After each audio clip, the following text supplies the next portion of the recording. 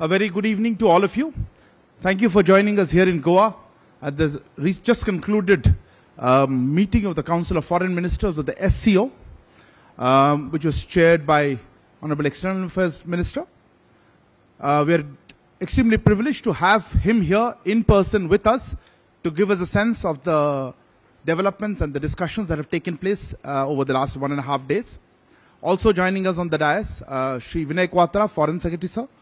Sri Dammu Ravi, Secretary Economic Relations in the Ministry of External Affairs, as well as Srimati Yojana Patel, Joint Secretary, um, SCO Division, as well as the National Coordinator for SCO from India. With that, sir, I would request you, sir, uh, to perhaps say a few opening remarks, and then we can take a few questions. friends from the media. We have just concluded the SCO Council of Foreign Ministers meeting today here in Goa. Uh, this was chaired by India for the first time. Uh, foreign ministers of SCO member states, the Secretary General of the SCO, and Director of SCO RATS uh, took, play, took part uh, in the meeting. During the meeting, the SCO foreign ministers assessed the status of decisions that will be approved uh, at the upcoming SCO summit in July. The meeting also gave an opportunity to uh, dwell on the state of multilateral cooperation in SCO, uh, to address uh, regional and global issues of interest, talk about the reform and modernization of the organization, and assess the progress of admitting Iran and Belarus uh, to SCO uh, as new member states. Uh, as you are all aware, uh, Prime Minister Modi had articulated India's priorities for the SCO chair uh, with the theme of towards a secure SCO. The acronym SECURE was given by Prime Minister uh, because it lays out the main focus under our ongoing chairship uh, and SECURE stands for security, economic development, connectivity, unity, respect for sovereignty and territorial integrity, and environmental protection. Uh, I would also like to inform you that uh, under our ongoing presidency, we have uh, successfully hosted more than 100 meetings and events so far, including 15 ministerial levels or head of agency meetings. Many of the uh, socio-cultural events hosted by India were the first of its kind in the framework of the SCO. Uh, the designation of Varanasi Kashi as the first ever SCO cultural and tourist capital for 2022-23, uh, I think deserves uh, special mention. It was our endeavor to create new verticals of cooperation in SCO. Uh, and as, a, as an example, I can cite uh, the field of startups and innovation, traditional medicine, science and technology, empowering youth and reviving the Buddhist heritage uh, amongst uh, the SCO member states. The work to implement these uh, verticals uh, is already underway and uh, it is being spearheaded by India. Uh, we are also committed to strengthening and further deepening the cooperation within the framework of SCO. Uh, and many of our initiatives and steps were in that direction. We have opened up new areas of cooperation and intensified engagement among member states. We hope to continue the momentum of our interaction and we are obviously looking forward to the summit in July. In the course of uh, these two days, I also held fruitful uh, bilateral interactions with my counterparts from Russia, China, Uzbekistan, Kazakhstan, Tajikistan, and Kyrgyzstan. All ministers reaffirmed their support to India as the chair of SCO and expressed their appreciation for the contribution of India to that organization. I also met the Secretary General of the SCO and discussed the diversification and the deepening of SCO agenda. Um, as regards the uh, bilateral uh, relationships, uh, let me start with Russia. Uh, FM Lavrov and I noted the progress that has been made in our economic cooperation. Uh, we exchanged views on a number of regional and global developments. Uh, since the G20 meetings are ongoing, and there's a BRICS foreign ministers meeting which is coming up soon, uh, these two uh, were also uh, the subject of our discussion. Uh, where FM uh, Qin Gang of China is concerned, uh, much of our attention, uh, I think predictably, uh, went to the disengagement issue uh, in the Western sector. Yeah, but uh, here again, uh, the G20 and BRICS uh, featured uh, in the talks because China is a member of both uh, groupings. Uh, with uh, Minister Saidov of Uzbekistan, it was a warm first meeting. Uh, we took stock of our bilateral ties and agreed to have another conversation soon. Uh, this was also the case uh, with Deputy Prime Minister and Foreign Minister Nurtleu of Kazakhstan. With my Tajik and Kyrgyz counterparts, uh, Foreign Minister Sirajuddin and Kulubayev, now they are long-standing friends with whom we have a, rolling, ongoing conversation.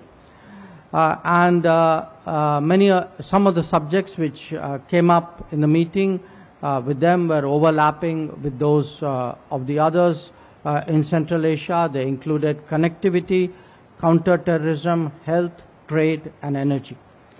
Uh, with all the Central Asian ministers, we agreed that the India Central Asia format meetings in different domains uh, should take place uh, at an early date. So, uh, the overall sense that I would like to share with you is that of a productive uh, uh, Council of Foreign Ministers meeting. Uh, I think it was uh, useful in uh, preparing the ground uh, for the summit. So, those are some opening thoughts, uh, and I would be uh, delighted to take questions. Thank you, sir Before uh, I take the questions, ground rules, please. Please introduce yourself and the organization that you represent. We'll also not be able to accommodate more than one question, even that may be difficult. Let me start. Uh, Pranay, can I start with you? Sir Pranay Upadhyay ABP news से sir सामने Pranay Upadhyay ABP news से sir मेरा सवाल इस चीज़ को लेकर है कि एससीओ की विदेश मंत्रियों की बैठक के लिए पाकिस्तान के विदेश मंत्री बिलावल भुट्टो आए थे। भारत में बहुत लंबे समय बाद किसी पाकिस्तानी विदेश मंत्री की ये यात्रा हुई थी। लेकिन अपने भाषण में उन्होंने सीपैक का ज़िक्र किया। आज उन्होंने कहा जम्मू कश्मीर को लेकर कि भारत जी ट्वेंटी में अड़ियल रवैया दिखा रहा है वहाँ पर आयोजन को करके, यहाँ की सॉइल पे। तो आपने इस यात्रा को कैसे लिया और क्या आपको लगता है कि इस यात्रा से जिस तरह से उन्होंने कमिटमेंट दिखाया एससीओ को लेकर बायोलिट्रल टॉक्स को लेकर भी कोई संभावना बन सकती है? क्योंकि ये बातें ऐसे समय में हो रही है जब भारत में आज टेरर अटैक भी हुआ है। Um, we'll take a few questions together. Yeah, Sir, uh, hi. This is Shivangi Thakur Thakur Z Zee news आज हमने देखा किस तरह से एस सी समिट हुआ लेकिन इसके बाद सर जो पाकिस्तान के विदेश मंत्री हैं उनका एक बयान सामने आया है और उन्होंने कहा है कि आतंकवाद पर भारत और पाकिस्तान को साथ मिलकर बैठकर बातचीत करना चाहिए क्योंकि हम भी इससे पीड़ित हैं। ऐसे में जब वो यहाँ पर आए हैं द्विपक्षीय वार्ता नहीं हुई है राजौरी में आज भी हमारे जवान शहीद हुए हैं तो कैसे देखते हैं? क्योंकि वो कह रहे हैं कि the सिंपल सी चीज़ है वो कह रहे हैं आतंकवाद पे हम दोनों को मिलकर काम करना चाहिए लेकिन कैसे करेंगे जब आप समिट में आकर बातचीत नहीं करते? Siddhant. Hi, sir. Siddhant from WION. Uh, when it comes to bilateral with the Chinese foreign minister, the Chinese readout says that situation at the border is stable. How do you see this divergence in the position? Uh, between Uh, the, the, the Chinese side claiming that everything is normal at the border, everything is stable at the border. Yeah, ma'am, there. Yeah. Hello, my name is Munizae Jahangir. I'm from Pakistan, from Aaj TV, and my question to you over here is that the Foreign Minister Bilawal Bhutto Zardari made a bold move by coming here and it is being seen as a breakthrough. He's also being criticized, but how do you, India, see it? Do you see it as a breakthrough, and what will be your roadmap in the future to resumption of at least diplomatic ties with Pakistan? Sir, perhaps uh, four questions. I'll hand over हाँ. to you, sir. अ, देखिए तीन सवाल जो हैं वो पाकिस्तान पर थे, एक सवाल जो है वो चाइना पर था। तो ये तीन सवाल जो पाकिस्तान वाले सवाल जो हैं मैं एक साथ लेना चाहूँगा ताकि because they are overlapping question first of all let me say this as a foreign minister of an S C O member state mister Bhutto Zardari was treated accordingly. As a promoter, justifier, uh, and I'm sorry to say, spokesperson of a terrorism industry, which is the mainstay of Pakistan, his positions were called out and they were countered, including at the SCO meeting itself. So let me come to the specifics uh, on the uh, China Pakistan uh, economic corridor, this so called corridor.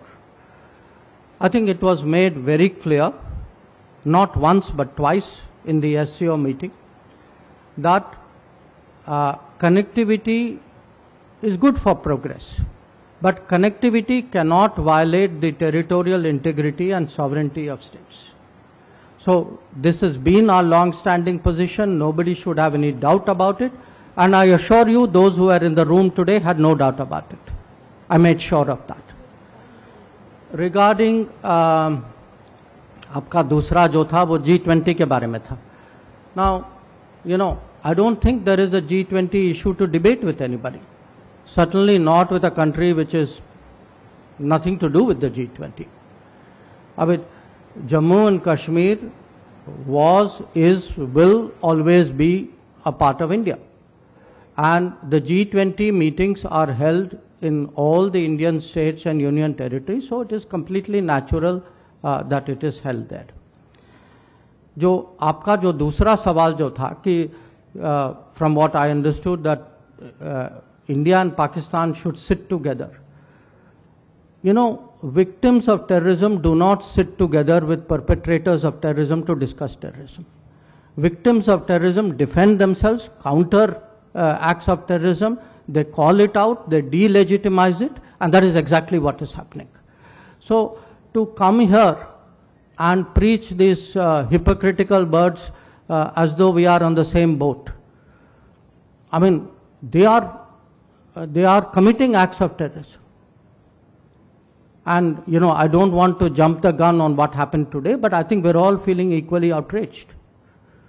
So, uh, so I, I think, I mean, let's, let's be very, very clear on this. You know, on this matter, the terrorism matter, I mean, I, I would say uh, Pakistan's uh, credibility is depleting even faster than its forex reserves. So, so you know, let's let's be clear what this is about. Uh, on uh, your question, uh, you know, is this a breakthrough?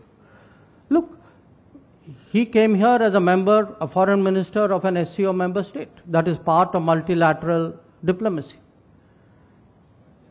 Don't, please do not see it as anything more than that. It was not meant as anything more than that. It was not treated as anything more than that. And I think nothing that from what he said or what I heard he said uh, deserves for this to be treated more than uh, that. Uh, the China question. Um, look, uh, my understanding uh, of uh, what the Chinese said, I, I think they used the word stable, if I'm not mistaken. I, I, I don't think uh, that's the issue. I think the issue is that there is an abnormal position in the boundary areas, border areas, along the boundary. Uh, and uh, we uh, had a very frank discussion about it. It's not the first discussion. I had spoken to Foreign Minister Qin Gang on the sidelines of the G20 as well. So, uh, we have to take the disengagement process forward. And uh, uh, I have made it very clear, uh, frankly, publicly as well, and my, you know, what I say within the room is not different from what I say outside, which is that India-China relations are not normal and cannot be normal if the peace and tranquility in the border areas is disturbed. I, you know, I've been very, very clear about it. I've been very consistent about it. And I have not changed my position uh, on, at this meeting either. Thank you, sir. Uh, listen, before, in the interest of efficiency, please do not repeat similar questions or try to come back to it. I think, um, so I'll take fresh questions on that. Maha? Yeah. Uh, Sir Maha Siddiqui from NDTV. Sir, how does India view uh, being part of an organization which is now largely being viewed as an anti-West grouping? Yeah, Neeraj? Sir Neeraj हूँ news eighteen India से। आपने कहा कि G twenty से पाकिस्तान का कोई लेना देना नहीं है लेकिन बिलावल भुट्टो ने यह भी कहा श्रीनगर में जो पर्यटन के मसले पर बैठक हो रही है वक्त पर ऐसा जवाब देंगे कि उनको याद रहेगा। इस स्टेटमेंट को भारत कैसे देखता है? देखिए स्पेसिफिक ऐसे क्वेश्चन नहीं हो पाएगा। जवाब दे चुके हैं मैं इसका भी जवाब दूँगा। Okay. Question sir Thank you. Dmitry Melnikov from Russian TV. Sir, was uh, Ukrainian crisis part of today's discussion? And did Mr. Lavrov tell you about the recent uh, attack on Kremlin in Moscow? And what is your point of view? Thank you. Yeah, yeah. Go ahead. Yeah, yeah. You. Microphone coming to you. No, ma- uh, no, him. Yeah. Right. Uh, hello, sir. Uh, Rishikesh, uh, Press Trust of India say. Uh, sir, uh, Pak FM also said that uh, we should not get caught up in weaponizing terrorism for diplomatic point scoring. So, uh, uh, what are your views on this? Manish, you want Manish? Yeah. Microphone. So we'll take this five. Sir, Manish Chand, India Writes Network. Just before his meeting with you, uh, Chinese uh, Foreign Minister was addressing a function in honor of Dr. Kotnis, uh, where he spoke about people-to-people contacts and finding a new path of peaceful coexistence.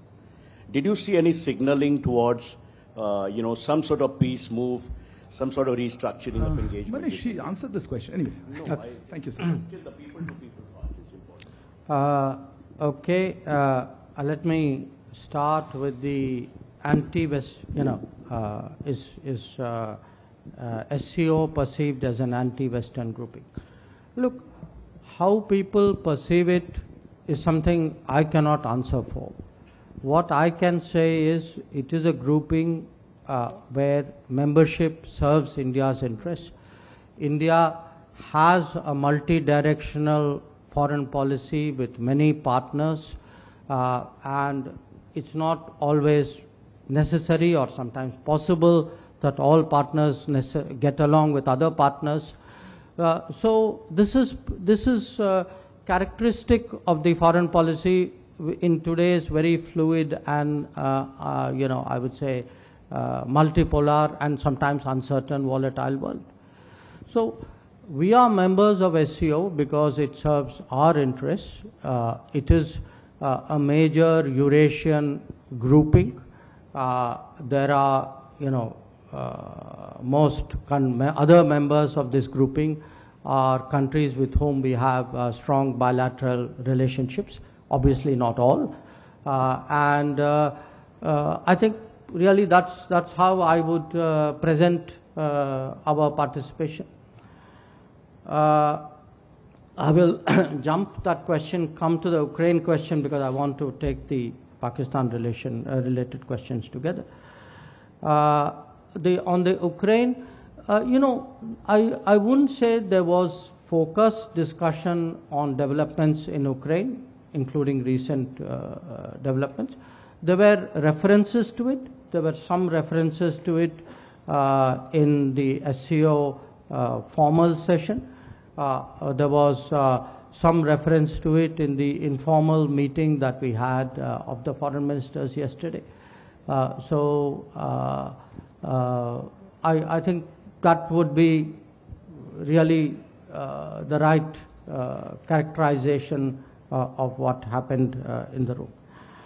Uh, regarding uh, the uh, Dr. Uh, question and people to people.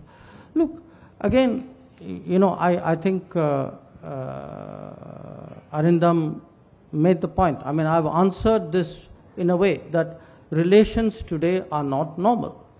So, uh, to suggest somehow that they are and everything else can continue and, uh, you know, uh, while, while uh, the, the, the relevant issues, uh, the central problems are not being effectively addressed, I think uh, won't, it won't wash. That there are issues we need to discuss. I, I think uh, uh, we, we- both countries need to be clear about it. Now, it may be uh, the endeavor or uh, expectation uh, to, uh, to try and project, uh, you know, exactly the kind of picture which you would suggest. But I would not go along with it. I certainly will not play along with it.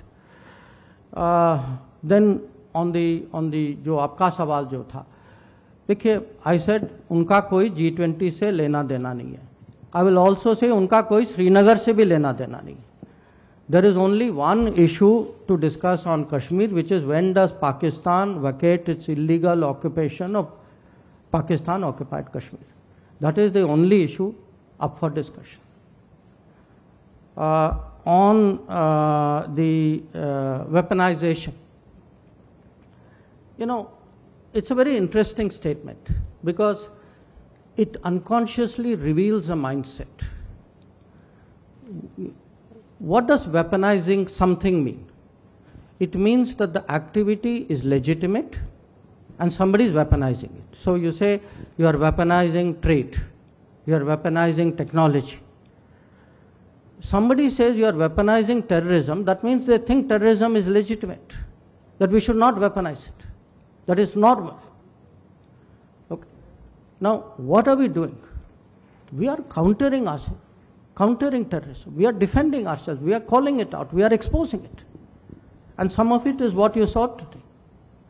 So, you know, to me, we are not scoring diplomatic points. We are politically, diplomatically exposing Pakistan before the world. And as a victim of terrorism, I'm completely entitled to do so. I mean, what do you mean we should not weaponize terrorism? That means as a victim, I'm supposed to put up with it. I mean, so you not only commit terrorism, but you say, oh, please do not even speak about it. I mean, come on. So, uh, to me, that sentence, you know, it spoke so much about a mindset of that country that you can all, you know, see for yourselves. Thank you. So we'll take a few more questions. Uh, yeah. Uh, sir Pakistan के विदेश मंत्री ने यह भी कहा कि piece sir इधर विजय लक्ष्मी हूँ इंडिया टीवी से thank you. सर पाकिस्तान के विदेश मंत्री ने यह भी कहा कि peace is our destiny and we should not be held hostage to our history हम हिस्ट्री खुद क्रिएट करेंगे लेकिन आज ही राजौरी में हमला होता है हमारे कई जवान शहीद होते हैं कुछ दिनों पहले पुंछ में भी हमला हुआ लेकिन यहाँ पर पाकिस्तान का दोहरा चरित्र हालाँकि अंग्रेज़ी में आप जवाब दे चुके हैं इसका हिंदी में चाहूँगी। नहीं, क्या पाकिस्तान का दोहरा चरित्र इसी से जग ज़ाहिर होता है? इस टॉपिक पे बात तीन बार हो चुका है। का, उसका सबूत भी चाहिए क्या? Please ma'am I remember yes ma'am go ahead Runjan Sharma RT There are speculations on SEO becoming a military alliance. How does India see the role of SCO, particularly in the security area? Yeah, behind there. Yes, please. Yeah, you, please. To the mic. I'm Sandeep Dikshit with the Tribune. Uh, Mr. Jaishankar spoke about uh, modernization and reform of SCO. Can you please dwell a little more of it on it? Uh, last question there at the back.